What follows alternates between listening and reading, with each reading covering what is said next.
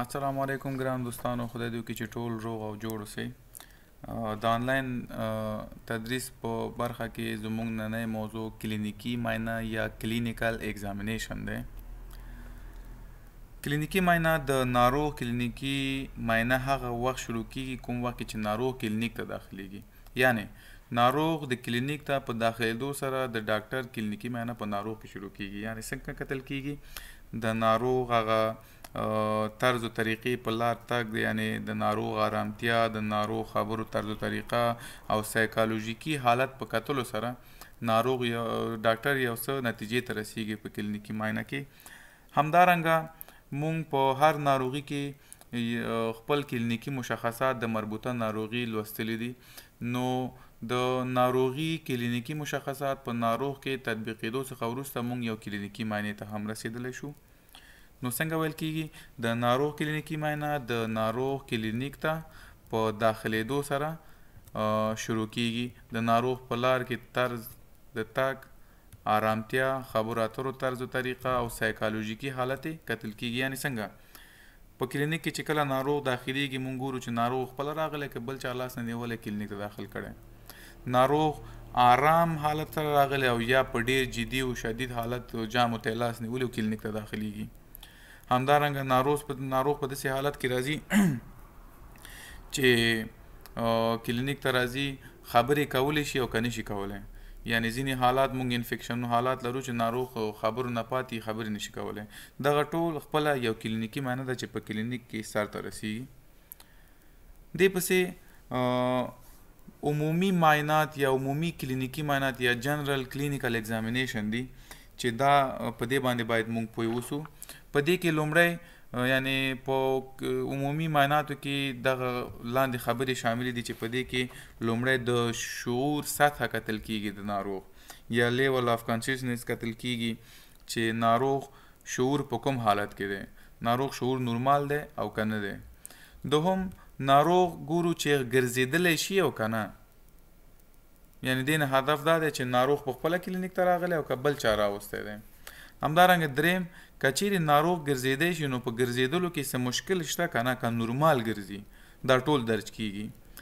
همدارنګه په عمومي معناتو کې د ناروغ تغذیه کتل کېږي چې ناروغ تغذیه نورمال دی او که نه دی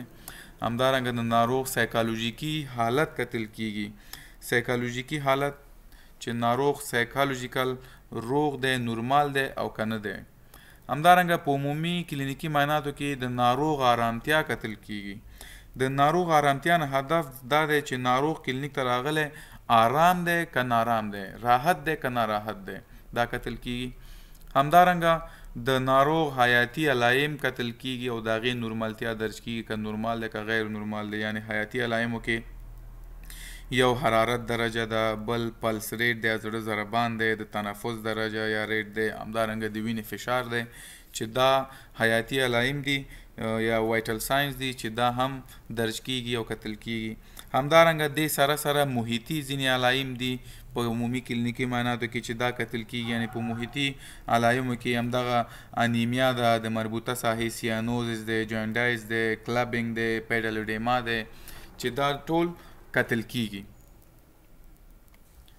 دې پسې موضوع د سیستمیک معاینات دي په کلینیکي معایناتو کې سیستمیک معاینات د ناروغ ځینې سیستمونه باید معاینه شي او غیر نورمالتیا باید پکې درج شي په دې کې کارډیوواسکولر سیستم دی چې د دې نورمالتیا باید وکتل شي او که چیرې غیر نارمل کوم حالت و هغه باید درج شي. ګاسټروانټیسټینل سیستم دی چې په دې کې باید دا کماینه شي که چیرې کوم غیر نارمل حالت و باید درج شي. سنټرل نروس سیستم کې یعنې په مرکزي عصبي سیستم کې که چیرې څه مشکل وي، غیر نارمل حالت وي، دا درج کیږي. همدارنګه په جینیټو یورینري سیستم کې که چیرې کوم فرق و نو دا هم کتل کیږي. د سیستمیک معایناتو پسې موضعي معاینات دي چې موضعي معایناتو کې یعنی لوکل ایگزامینیشن دی کلینیکل چې دا هم قتل کیږي چې په موضوعي معایناتو کې مونږ بیا په خپل وار سره دغه موضوعي معاینات په دوو برخو باندې وشو چې یو برخې ته وایي خولې داخل موضوعي معاینات یا انټراورل ایگزامینیشن او بل برخې ته وایي خولې خارج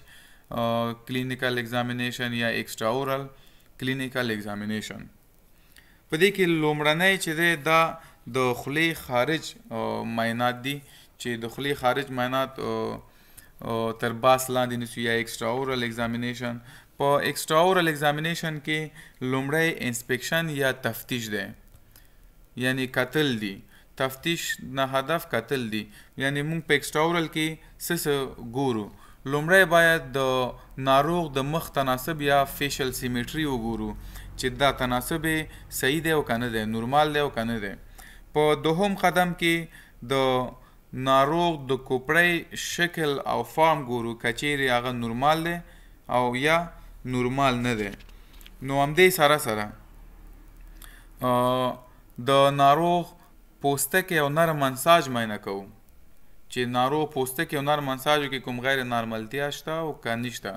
په پوستکی او نرم منساجو کې معایناتو کې د پوستکی او شاوخوا ساختمانونو پر رنګ بافت او غیر نارمل شکلونه چې کتل کیږي باید درج شي لکه که چیرې مثال یې ورکړو چې په پوستکي کې که چیرې خاصف رنګ وي نو دا په دلالت په انیمیا ویټیلیګو یا البینیزم کوي همدارنګه که چیرې په پوستکي کې نرم انساجو کې کوم ډیسکلریشن موجودو نو ډیسکلریشن کېدای شي د انفلمیشن هیمنجیوما یا ایکیموزس باندې دلالت وکړي په دې کې لومړی سترګه ده چې د سترګې معنی ده په سترګې معنی په خلی خارج کلینیکی معناتو کې راځي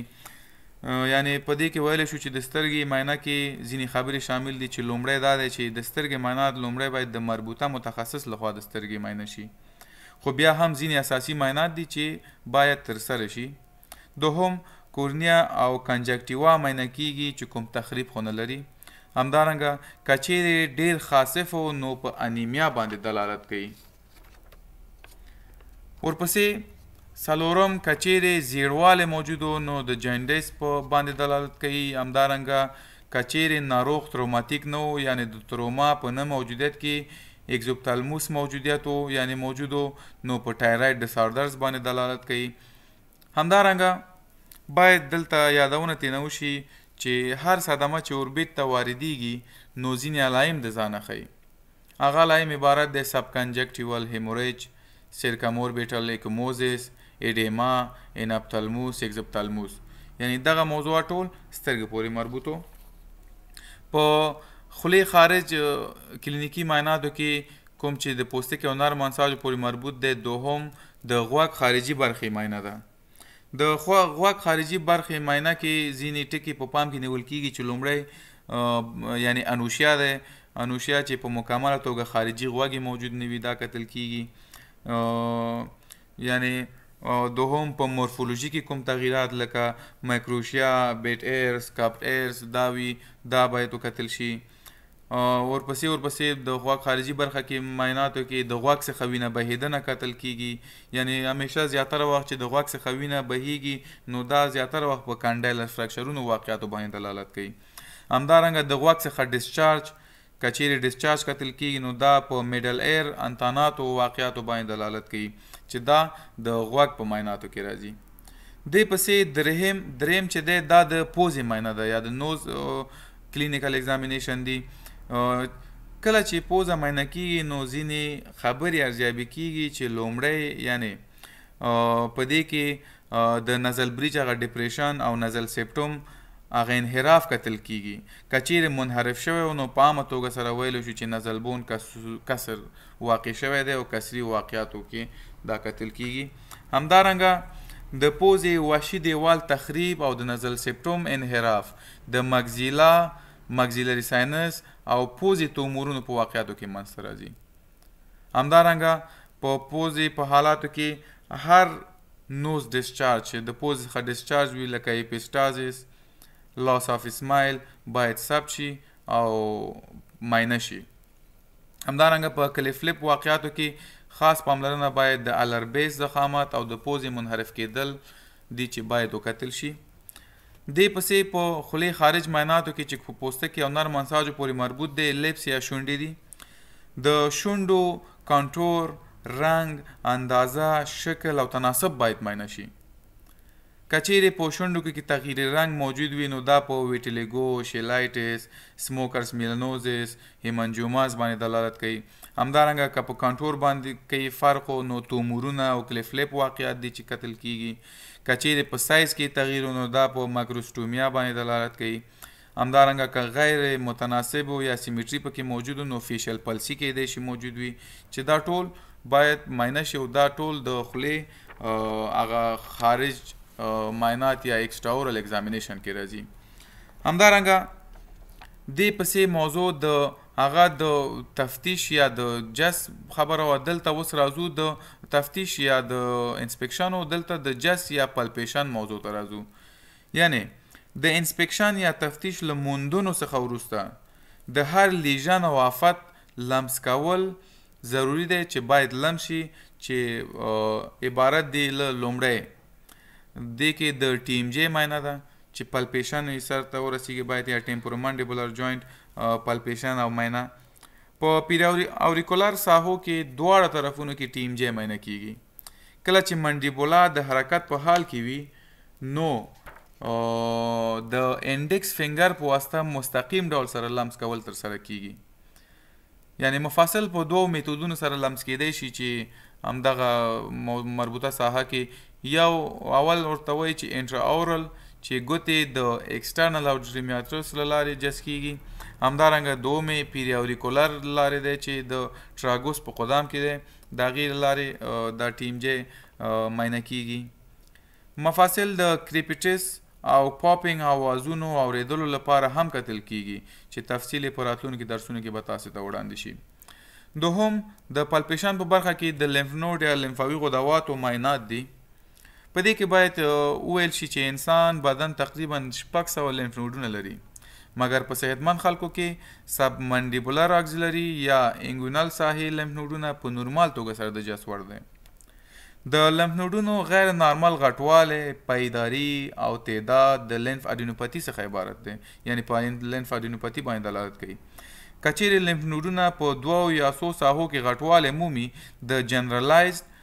او که چیرې په یوه ساحه کې غټوالی وموند د لوکالایز په نوم سره یادیږي.